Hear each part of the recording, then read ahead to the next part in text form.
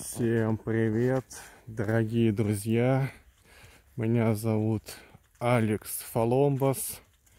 Сегодня на календаре у нас 19 августа 2020 года. Среда, конец лета уже. Вот, я гуляю сейчас в Бицевском лесопарке. Сейчас вот выйду на Бицевскую аллею. Сегодня утречком я отвез заказика на улицу Айвазовского в районе Ясенева. Вот я посмотрел по карте и увидел, что здесь э, рядом с районом Яснева есть замечательный большой Бицевский лесопарк. И я решил, а чё, была не была, пойду прогуляюсь. Я вроде никогда в жизни не гулял по этому парку легендарному. Хоть у него и такая немножко дурная слава, но все же летом намного приятнее гулять, когда тепло, чем а, зимою ходить по снежным сугробам. Вот, и я сейчас вот гуляю по парку Бицевскому. Ну что сказать, я вот а, когда шел к парку, думал, снимать вообще видеозаписи или не снимать. Ну, решил, что буду снимать. Вот она, Бицевская аллея, здесь асфальт есть. Здесь, скорее всего, патрулируют полицейские машины. А, вообще, я вот когда шел к парку, думал, а, что сначала включить а, прямой эфир или просто сделать офлайн видеозапись. Я включил прямой эфир. Вот, прям вот а, с района Яснева перешел э, улицу на районе и прям снял э, в прямом эфире, как я захожу в Бицевский парк. Потом, когда я уже вглубь начал парка пробираться, э, связь мобильная все стало угасать и угасать. И когда я уже вообще был там почти в самом центре парка. Ну, просто связи нету никакой мобильной. И я вот решил записать, э, ну, просто офлайн видеозапись. Вот, я вроде вышел на такую аллею. Здесь должны машины патрульные, полицейские время от времени приезжать. И, в принципе, здесь не так и страшно, как вот в самом там парке. То есть, э, где много деревьев. Здесь как бы уже все, аллея. И более цивилизованно. Люди вот э, гуляют. А вон там вот в дебрях, конечно, пострашнее. Там никого нету. Вот. Так что гуляю сейчас в Бицевском лесопарке. Вот, на велосипеде женщина. Какая-то пенсионерка гуляет.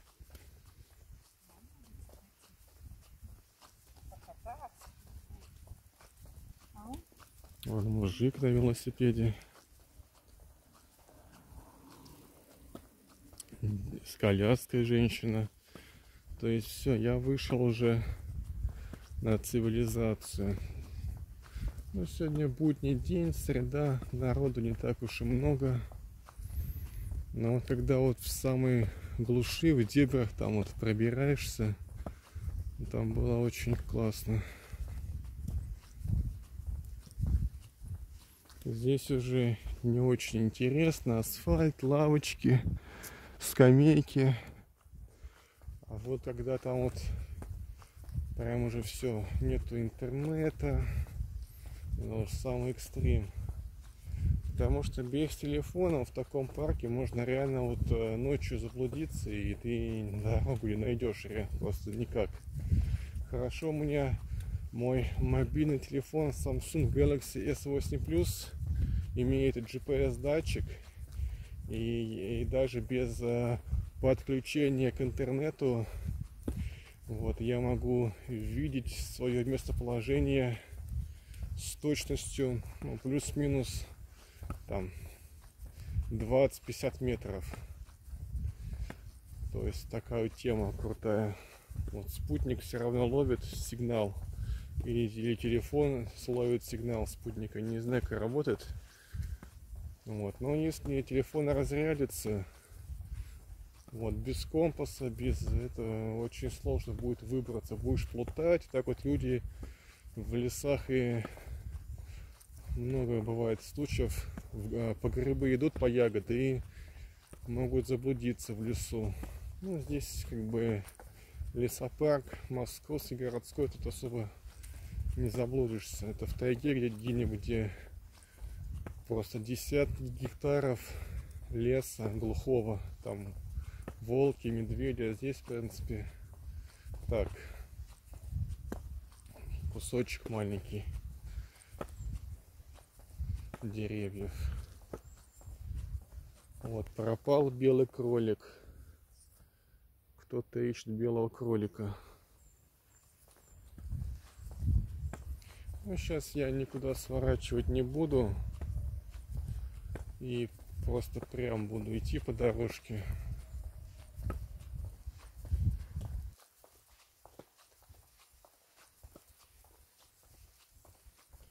вот. Старушки гуляют. Кто-то там орет в лесу.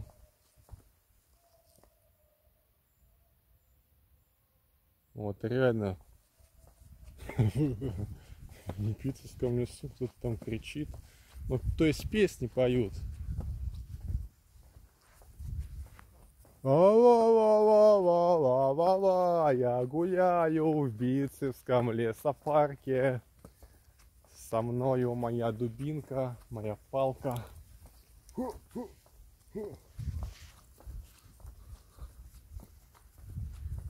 Мне просто интересно оценить, вот насколько он большой.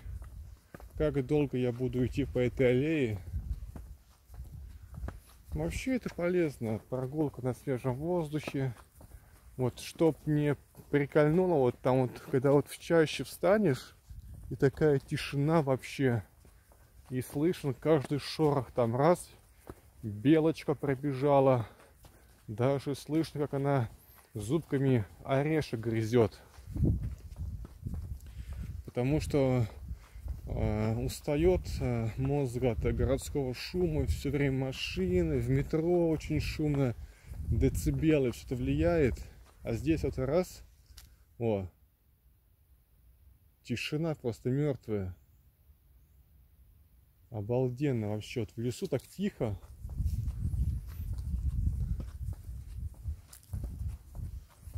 Ну все, я иду а, это, наверное, главная аллея в Битцевском лесопарке, так называется Битцевская аллея. Вот, я то есть сейчас иду от района Яснева, от метро Яснева, вот, до метро Пражская, метро Чертановская, то есть э, в те края. А, то есть я из Яснева через Бицевский парк иду в район Чертанова. Вот, грубо говоря, так. Вот напрягает, там кто-то поет песенки. Я стараюсь комментировать. Девушка с палками. Не, погода хорошая. Дождя нету. Но здесь я лосей навряд ли встречу. Вот. Ну да, кому-то весело там. Кто-то песни поет. Вон там вот люди, он бегает спортсмен.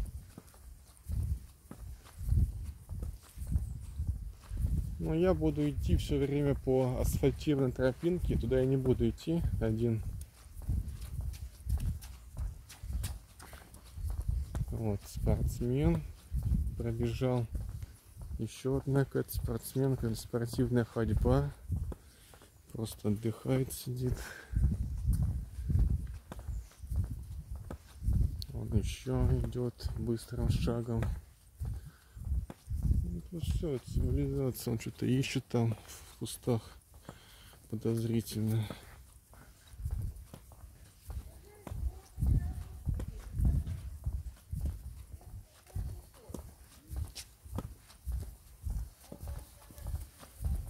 Ну, он просто быстро ходит, похудеть хочет, наверное. Ну все, тут люди пошли, цивилизация. Не, туда я не пойду уже в чащу, в дебри.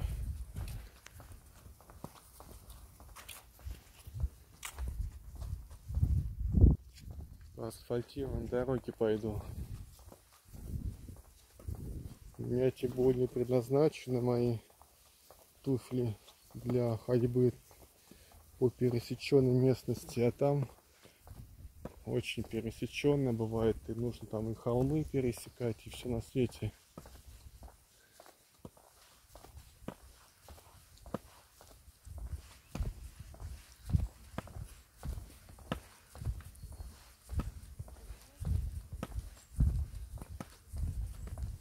Ну, вот я пойду все время вот по этой асфальтированной дороге. Потому что, знаете, что я подумал? Вот, э, ну, она должна куда-то меня вывести обязательно. Вот еще один спортсмен.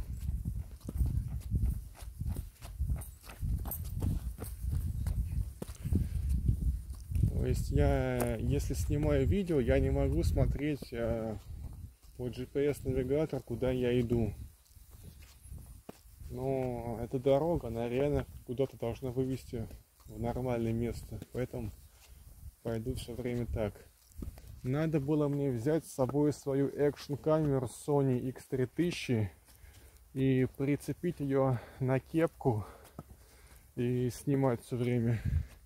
А с телефона смотреть по карте, куда я направляюсь. В принципе, нужно, да, с завтрашнего дня всегда с собой таскать экшн камеру. Вот, я даже а, вчера и не думал, что сегодня я буду гулять в Бицевском лесопарке. Ну, в принципе, я первый раз в своей жизни здесь. Просто для начала прогуляюсь по Бицевской аллее. Что она реально очень длинная. Все, иду, иду. Ну, тут люди бегают.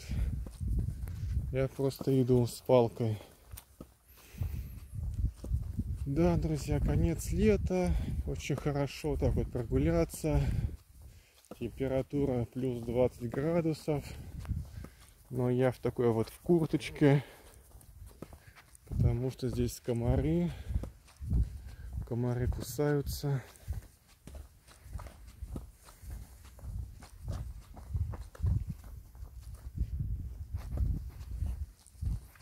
Девушка пробежала. Никто не здоровается, все угрюмые. Я вчера смотрел Илью Варламова. Мне нравится Илья Вар... Варламов. Это Илья Варламов, один из моих любимых московских видеоблогеров. Он москвич. Он а, родился и живет в Москве, Илья Варламов. И мне кажется, он нормальный тип, прикольный. Вот, поднялся, дела. И вот он э, очень много путешествует, Европа, Америка. И он заметил фишку, что в России, вот ты когда встречаешь незнакомого человека, вот, то есть ты сначала угрюмый, люди угрюмые, неприветливые, и пока ты не докажешь, что ты хороший тип, адекватный, нормальный, тебе так и будут с подозрением относиться – а в Америке наоборот. Все изначально открытые, искренние, дружелюбные, готовы к общению. И пока ты не докажешь, что ты говно, мразь, ну, чмошник, они к тебе не будут относиться с подозрением. Вот такая вот интересная вещь. Поэтому я хочу в Америку. Здесь народ реально угрюмый, неприветливый. И ну, реально это ощущается. Вот в Москве реально человек человеку волк, и каждый день война. В метро это вот биороботы все время. Вот эта вот тема напрягает меня в Москве, в России. Почему я хочу на запад, в Америку. Но получить американскую визу мне нищеброду, конечно, это мечтать только, да. Люди разные, все равно общество разное. Здесь встречаешься с человеком, тебя как на подонка смотрят с подозрением, типа, чё, чё, откуда, чё за чмошник такой стоит передо мной. И пока ты здесь, в Москве, не докажешь, что ты нормальный, четкий пацан хороший, вот, будут относиться с подозрением к тебе. Такая тема. То есть Илья Варламов это вот сказал мысль, я эту мысль с ним разделяю. Нет, он был в Америке, он знает лучше, да, но я как бы э, верю ему, что типа вот в Америке, да, люди ну, открытые сразу же к незнакомому. Все, то есть общение, свободная открытость. И пока ты что-нибудь не накосячишь, что-то там какой-нибудь э, гадость не сделаешь, тебе будут относиться хорошо. Вот такая интересная мысль у Ильи Варламова. Вот.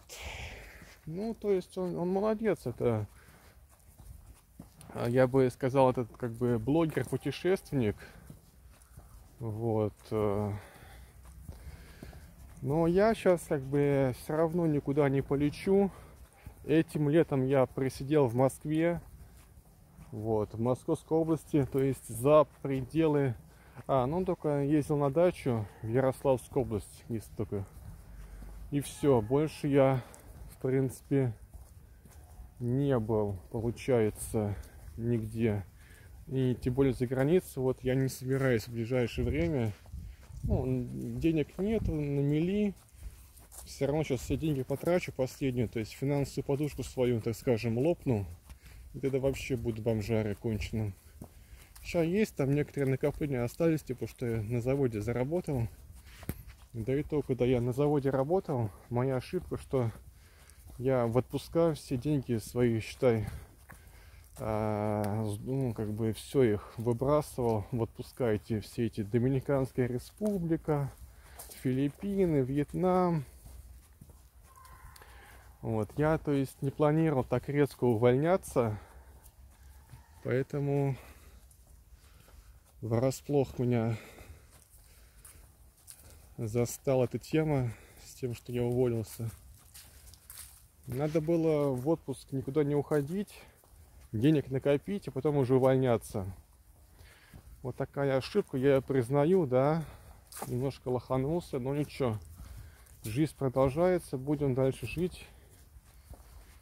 Вот, и обещаю, что на дядьку я, в принципе, больше не буду на батьку работать, потому что работаешь, работаешь, ни уважения, ни ни почета, ничего это не дает.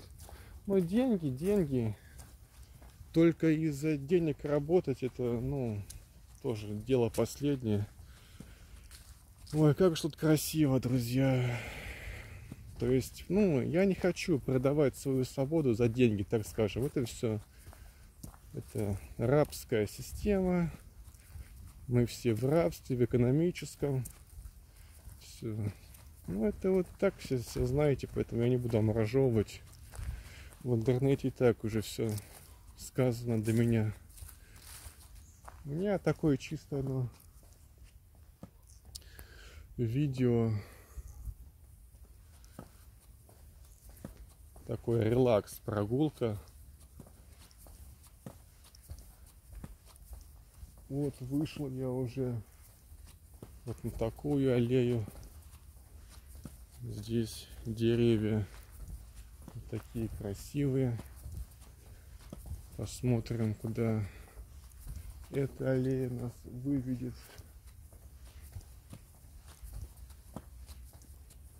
Ну да. Довольно-таки большой парк. Вот и все, иду, иду. Аллея не кончается. Вот это видеозапись я выложу на своем YouTube канале без монтажа. Просто так и назову. Летняя августовская прогулка в Битцевском парке.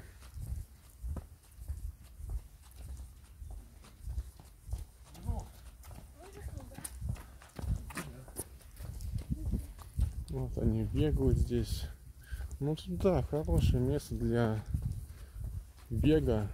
Воздух чистый. И очень тихо здесь.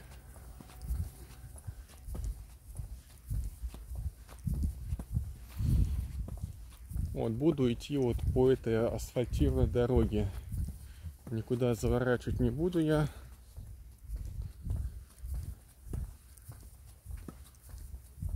Главное, чтобы видео не оборвалось. Вот, я не знаю, почему у меня не снимает телефон длинные видео, там по часу, по два часа.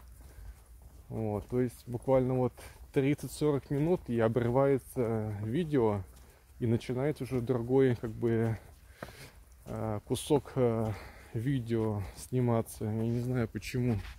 А монтировать потом неохота все это.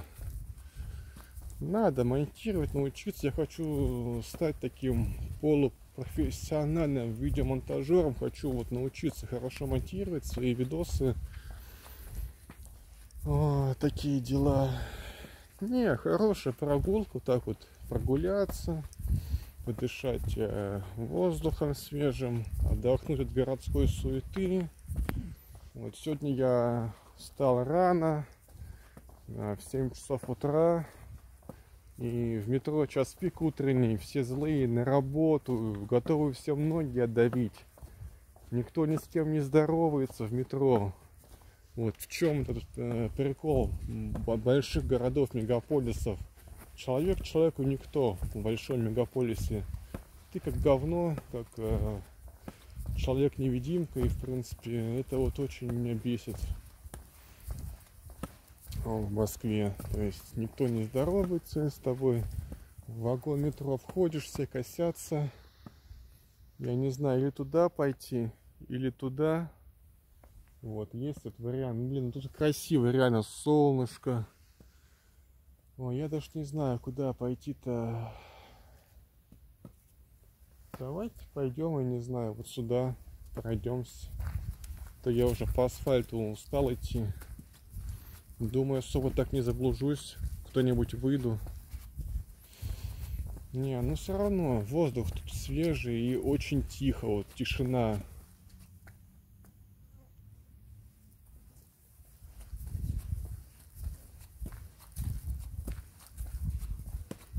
Вообще надо с палаткой куда-нибудь сгонять. Или на Селигер, или на Сенеж. На озеро Сенеж. Вот хочу как-нибудь поехать в будний день. Даже, может быть, с палаткой. Ну так, не с ночевкой, а типа на весь день палатку разбить. Или даже с ночевкой лучше, не знаю. Потому что днем в палатке лежать весь день тоже как-то тупо. Лучше ходить, изучать местность, исследовать. Вот, и, друзья, я опять не знаю, куда я иду, куда я сверну. Была бы у меня на голове экшн камера на кепке, да, вот, она бы снимала, как я иду, а по телефону я бы смотрел, куда я иду, потому что сейчас я реально не знаю, куда я иду. Вот, как-то можно ориентироваться по мху, по солнцу. Солнце у нас садится где? На востоке, да? Или нет, садится стран... Япония, страна восходящего солнца. Солнце встает на востоке, садится на западе, да? Значит, там у нас запад получается. Хм. Вот видите, я вот в городе прожил всю жизнь и не знаю, как ориентироваться на местности. Вот так вот у меня а, батарейка сядет, да, на, на, на телефоне аккумулятор разрядится, мой пауэрбанк. И все. Вечер наступит, будет темно, и буду бродить я до утра в Битцевском парке. Не, ну парк реально большой. Я еще хочу как-нибудь в Лосиный остров сходить, посмотреть. Говорят, там лоси тоже где-то там бегают, можно посмотреть лосей. Но это они там, где вот а, Лосиный остров а, за МКАДом, вот там, наверное, есть лоси. А в пределах Москвы, наверное, уже все лоси убежали, я не знаю. Там же МКАД как-нибудь, через МКАД бегать лоси.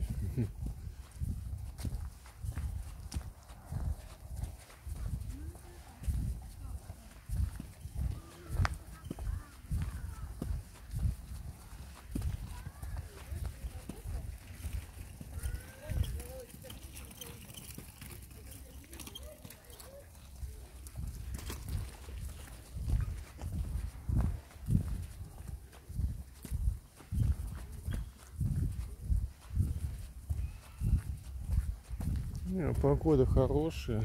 Деревья спасают от жары, от солнца. Они тень дают. Вот много деревьев, много теней.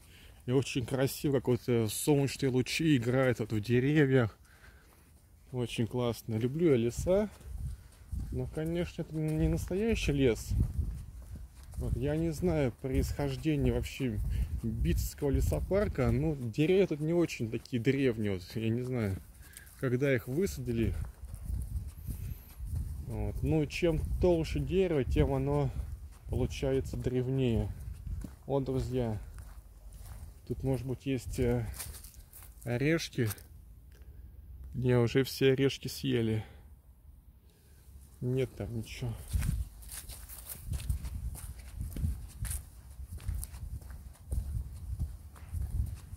Какие-то тут бесед какая-то, шашлыки жарят.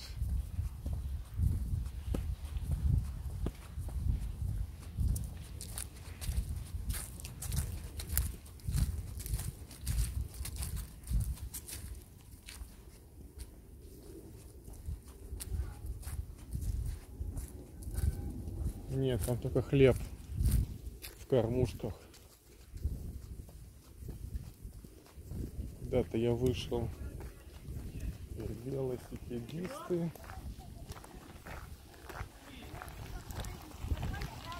Направо, поехали.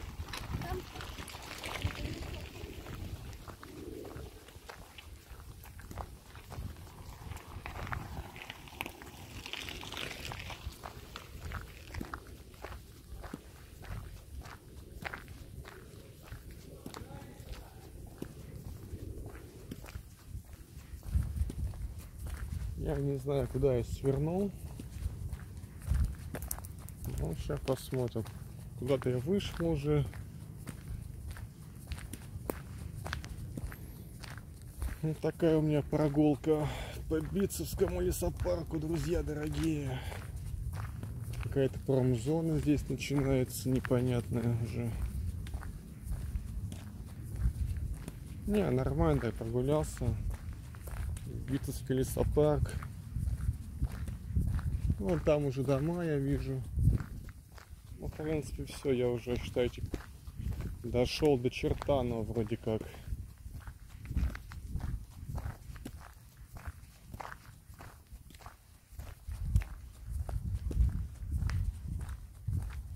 Ладно, буду снимать, пока телефон снимает для вас тут прогулку свою. Стрекоза, смотрите, о, какая тут.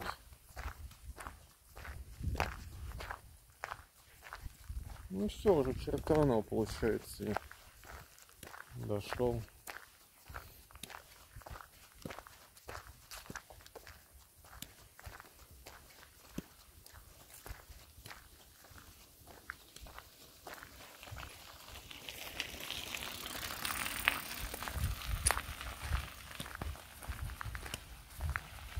Ну да, здесь на велике прикольно покататься по парку, наверное. Много дорожек всяких.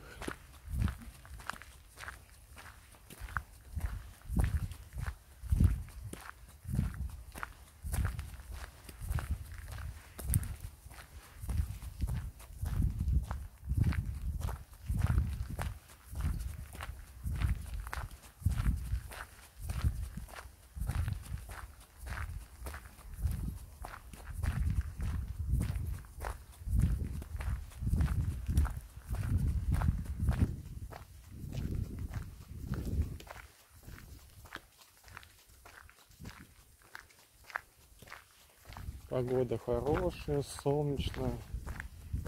Ловлю уже уходящее лето. Лето ускользает. Лето скоротечное в Москве. Уже через пару месяцев будет похолодание. В ноябре, в декабре снег уже будет в декабре должен быть. И, наверное, после Нового года я в Турцию отправлюсь на два месяца, январь-февраль. Потом можно в Грузию выехать и потом опять в, в Турцию.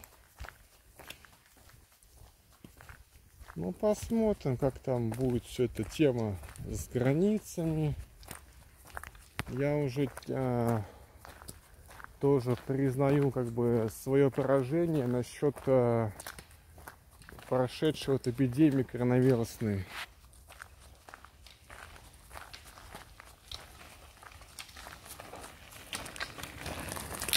То есть я жалею, что я прилетел из Испании обратно домой, в Москву, в Россию.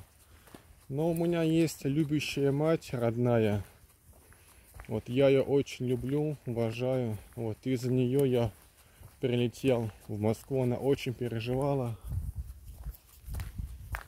Вот. У нее больное сердце, поэтому как бы из-за этого я прилетел в Москву и не стал типа ей нервы щекотать. Ну, для матери всегда маленький сынок, ну, маленький ребенок. Она не понимает, что я уже взрослый мужик. Вот. Мне будет 30 ноября 33 года, возраст Христа. Вот, а мать все никак не, не отпускает меня из-под своей юбки. Такая тема. И так и живу я с мамой в 33 года, в 32 года.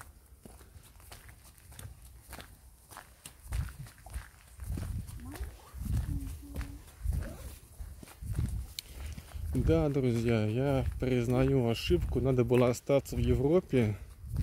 И типа я бы там застрял, и мне бы выплачивали в день 2500 рублей. Вот, наш любимый неокочевник, анахо-турист Димасик остался в Европе. Ну, он типа застрял, да. И ему наше государство выплачивал 2 500. И считать ему накапало за пару месяцев, там, я не знаю, может больше 100 тысяч. Ну, как минимум 100 тысяч он поднял. Как говорится, кому война, кому мать родная. Вот, так что вот я поэтому очень жалею. Ну ничего, все живы, все здоровы. Просто немножко обидно, жалко, конечно. Да, друзья. Вот такие дела. Погода хорошая.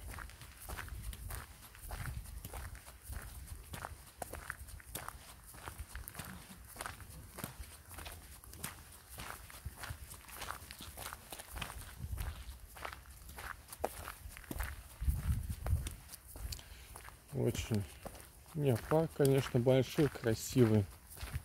Такой уголочек земли. Пойду-ка я вон туда немножко углублюсь. Там очень солнце светит.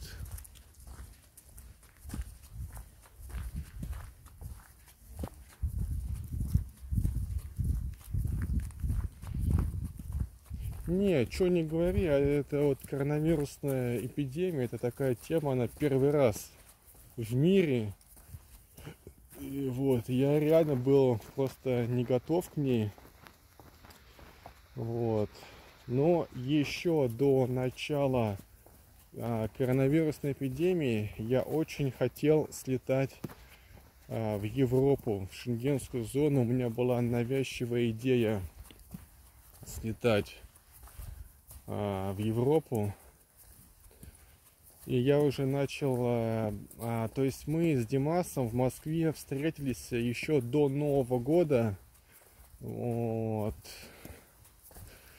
Он, то есть, а, вроде как а, из Китая а, в Россию приехал, и вот он, а, и он оформлял документы, то есть визу в Москве. Что-то приехал в Москву, вот, мы с ним встретились, и он мне все говорил, давай, дурачок, Саня, оформляй быстрее, скорее визу дело, потому что после Нового года уже будут новые правила. То есть э, не будут давать визу, как они захотят, эти вот э, а, а будет все, то есть строго.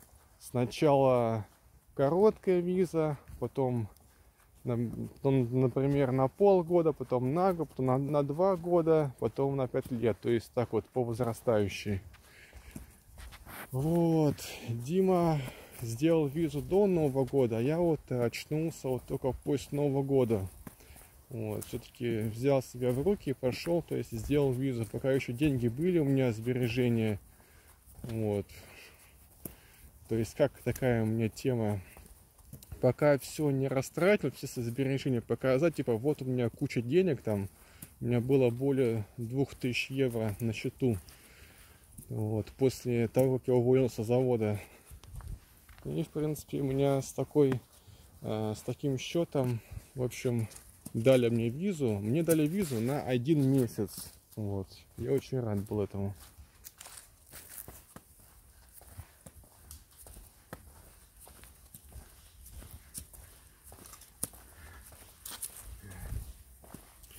Виза на один месяц, и она двухкратная. Я мог а, два раза, так скажем, въезжать в зону Шенгена. Но я всего один раз въехал и выехал. Потому что такая вот ситуация случилась в мире. Эпидемии.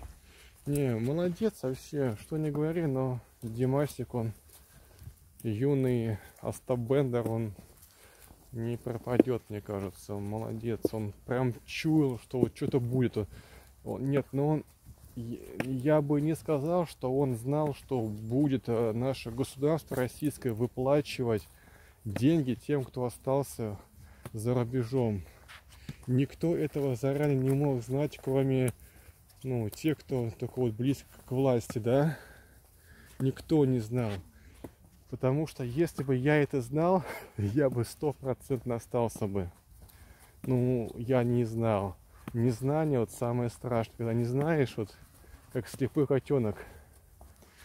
И что прикольно, Дима мне говорил, оставайся, ты дурачок, Фоломкин, оставайся в Европе. Когда еще будет такая возможность посмотреть такие места в Европе без людей, без туристов. И он реально был в Париже, там никого не было. И он сфоткался у Эйфелевой башни вот это, не, у него можно многому научиться. Он младше меня на 8 лет, но в принципе он прошареннее. Я вот уже немножко болванчик. Я бы не сказал, что я совсем тупой, но в плане путешествий таких вот Дима круче меня. Он молодец. Он, он меня уговаривал я как бы я пропустил свой а, обратный рейс, я пропустил. Но потом мама а, узнала, что я остался в Европе. То есть а, мама узнала, что я пропустил свой рейс. И она очень меня попросила сердечно вернуться обратно в Москву, домой. И я послушался маму любимую, купил за 15 тысяч билет Мадрид, а, авиабилет из Мадрида в Москву, компания Аэрофлот. Вот, тогда я еще был в Барселоне, нужно было еще добраться из Барселоны до Мадрида. Вот, я там познакомился с парнем а, в Барселоне, вот русскоязычный парень, я с ним познакомился, и мы с ним вместе на поезде из э, Барселоны отправились в Мадрид. Скоростной поезд обошелся мне, а, получается, на сколько мне обошелся? Где-то в 1011. И того, получается, а, мне в копеечку влетело где-то около тридцатки тысяч. Вот я вернулся обратно. Не было вывозных рейсов, все это так вот. Что говорили по телевизору, бесплатные рейсы. Я потом, когда пропустил, в общем, а, ну, свой рейс, решил как бы бесплатно полететь а, в аэропорт. Прихожу, типа говорю, а есть типа бесплатно, бесплатно, типа вот ну как бы должны вывозить бесплатно. Они такие, нет, нет, только за деньги. Вот я помню вот этот вот момент, когда я вот меня психанул, ну когда я уже пропустил рейс, но потом я подумал, что надо домой. Вот, и не хотелось деньги опять платить, чтобы покупать билет. Вот, и типа, ну, никто бесплатно не, не эвакуировал. Такие дела. Потом я уже купил билет за денежки и за свой счет я вернулся из Мадрида в Москву. Вот такая история. Мог бы остаться в Европе, путешествовать с Димой. И вот я жалею, что такой я опыт пропустил. И вот сейчас вот я только путешествую по Битцевскому лесопарку. В принципе, все. Я вышел живым и здоровым из Битцевского лесопарка. Вот. Здесь уже начинается район Чертанова. Получается, что я пешком дошел от метро Яснева до, ну, от района Яснева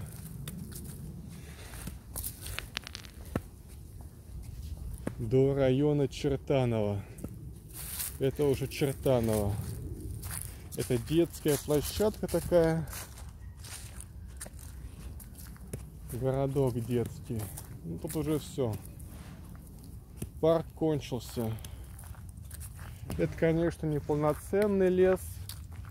В леса нужно ехать километров, наверное, 150 от э, Москвы. Там нужно реально подготовиться, чтобы снаряжение было, было хорошее, там все дела. Обувь соответствующая. Вот, такие дела. Ну все, в принципе, я прошел путем самурая от э, района Яснева до Чертанова. И на этом я буду заканчивать свою видеозапись. Спасибо за просмотр. Ставьте лайки, комментарии пишите. Вот я сегодня прогулялся по Битцевскому лесопарку. В принципе, хороший парк, тихий, большой, мне там понравилось. Вот, вы посмотрели только что мою прогулку по Битцевскому лесопарку. Всем спасибо. До свидания. Я заканчиваю свою видеозапись. Хорошо прогулялся я.